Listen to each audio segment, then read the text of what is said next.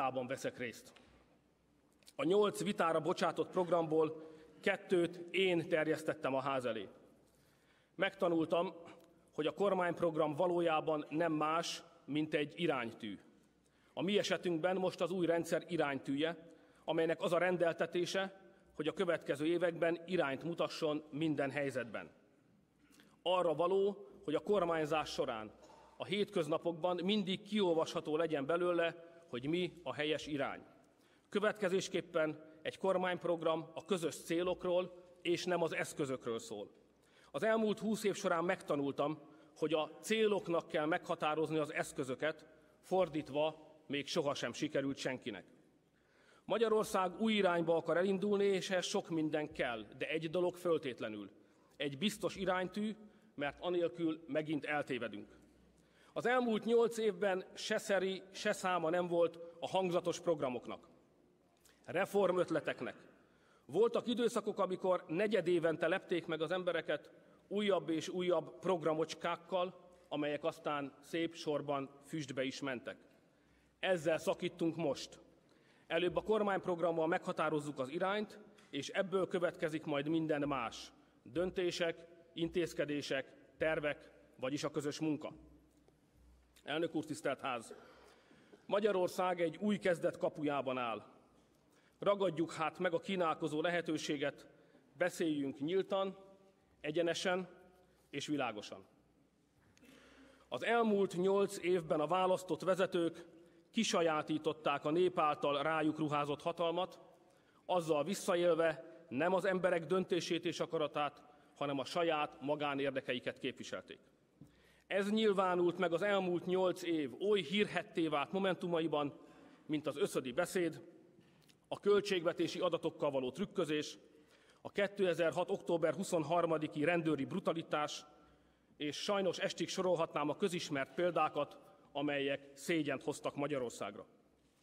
Az elmúlt nyolc év rossz kormányzása együttműködés helyett szembefordította egymással a társadalom tagjait és csoportjait. A fiatal korosztályokat az idősekkel, a munkából élőket a nyugdíjasokkal, a vidékieket a fővárosiakkal, a határon túlélőket az anyaországgal. A rossz kormányzás felemelkedés helyett adósságcsapdába hajtotta az országot. Hatalma fenntartása érdekében megszüntette a költségvetési gazdálkodás feletti demokratikus ellenőrzés lehetőségét, és több alkalommal meghamisította a költségvetési adatokat. Az elmúlt nyolc év rossz kormányzása engedte, hogy bűnszervezetek épüljenek be közpénzből fenntartott állami intézményekbe és vállalatokba. Megbénította az államot és a közigazgatást, felszámolta annak hatékonyságát. Kiváltságosok, magánérdekek és bűnözők kezére juttatta az ország felemelkedésére szánt nemzeti forrásokat. A hatalommal való visszaélést és a hazugságot tette a politika mércéjévé. Megakadályozta a felelősségre vonást és az elszámoltathatóságot, kordonok közé szorította a demokráciát. A közrend és a közbiztonság védelme helyett az állampolgárok elleni törvénytelen támadásra használta az állam erőszakmonopóliumát. Összefoglalóan azt mondhatom önöknek, az emberektől elforduló, a hatalommal visszaélő, magánérdekeket és célokat érvényesítő politika mély és tartós válságba sodorta hazánkat.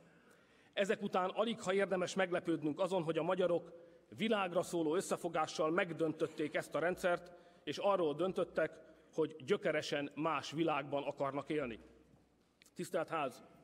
A köztársaság helyzetének áttekintése után engedjék meg, hogy arról szóljak, milyen felfogást vallok, és milyen felfogást követ majd kormányom a hatalom tekintetében. Az én fölfogásom szerint szemben az átmenet korszakában érvényesülő torz gyakorlattal a hatalom az egyeztetett cselekvés képességét jelenti. Ebből adódóan egy demokráciában a hatalom legfőbb megnyilvánulási formája a választás és nem a kormányzás. A választáson a nemzet közössége, a nép gyakorolja a hatalmat és meghozza a legfontosabb döntéseket. A kormányzás nem más, mint ezeknek a döntéseknek a végrehajtása. A választás során egy politikai közösség tagjai közös akarat nyilvánítással felhatalmazást adnak az általuk megválasztott vezetőknek, hogy találják meg azokat a kormányzati eszközöket, eljárásokat és módszereket, amelyel a közösség elérheti kitűzött céljait. Magyarországon áprilisban az emberek meghatározták a legfontosabb döntéseket, új társadalmi szerződést alkottak egy új rendszer megalapítására és fölépítésére. A kormány és az országgyűlés feladata most az, hogy ezeket a döntéseket végrehajtsuk.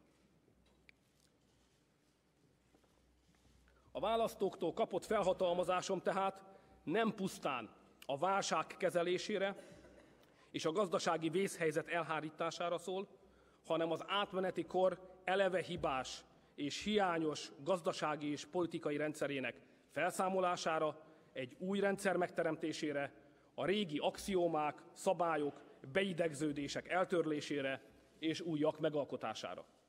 Vagyis forradalmi változtatásra. Tisztelt Hölgyeim és Uraim, a magyar ember óvatos és józan. Tudja, mit csinál.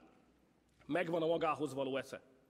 Amikor ellenfeleink figyelmeztetése és kampánya ellenére alkotmányozó felhatalmazást adott egy politikai erőnek, vagyis nekünk, akkor azt azért tette, mert új rendszert akart a régi helyett. A magyarok ma nagyon egységesek abban, hogy változást akarnak, mégpedig átható, mély és tartós, vagyis forradalmi változást. De a választással azt is kinyilvánították, hogy a változtatás legyen józan, alkotmányos és demokratikus. Tisztelt elnök úr, nem ismeretlen dolog ez a magyarok történetében. A mi polgári forradalmaink a nép szándéka szerint mindig józan, békés és alkotmányos természetűek voltak. A mi polgári forradalmaink mindig vértelennek indultak, és csak azért váltak utóbb véressé, mert külső hatalmak megtámadtak bennünket, és így forradalmaink szabadságharcá változtak. Ez történt 1848-ban és 1956-ban is. Most a többség, egy soha nem látott többség úgy döntött, hogy az átmenet zűrzavaros évei, a hatalommal való visszaélés nyomasztó évei után helyreállítsuk a dolgok természetes rendjét, helyreállítsuk a törvényt, amely mindenkire vonatkozik, amely fölött senki sem állhat. Ez a törvény voltak éppen a többség akarata, a többség értékrendje, és ez az, aminek az elmúlt években az ország vezetői hátat fordítottak. Ezért a kormányzásnak most vissza kell fordulnia az emberek és a mindennapi élet felé. Ez egyben azt is jelenti, kedves barátaim, tisztelt hölgyeim és uraim, hogy a láthatatlan paktumok, láthatatlan pénzek és láthatatlan kezek ideje lejárt. A magyarok látható döntést hoztak, a világ minden pontjáról jól látható nemzeti egységet teremtettek, ezért jogosan várnak el mostantól látható politikát, látható szerződéseket, látható pénzeket, látható törvényeket, szabályokat, föltételeket, és látható, számon kérhető felelősséget. A politikának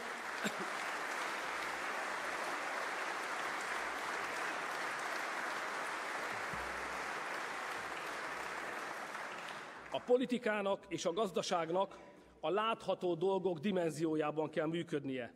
Ez a demokrácia parancsa, és ezt írja elő az új társadalmi szerződés. Tisztelt Ház, Hölgyeim és Uraim! És most engedjék meg, hogy felhívjam figyelmüket az új társadalmi szerződésből fakadó következményekre. Ez a szerződés a magyar nemzet közakaratát fejezi ki. Mindannyiunkat, de különösképpen a politikai, gazdasági vezetőket és közéleti szereplőket kötelezi arra, hogy végrehajtsuk, betartsuk és betartassuk. A nemzet közakaratát megtestesítő új társadalmi szerződést semmilyen látható vagy láthatatlan politikai paktum nem írhatja felül, és semmilyen részérdek nem kérdőjelezheti meg. A magyarok elsőprő erővel váltották le azt a politikát, amely éveken át szembe ment az akaratukkal. Ezért az új országgyűlésnek kötelessége volt első intézkedéseként deklarálni, hogy az emberek egységes akarata a hatalom legfőbb forrása Magyarországon.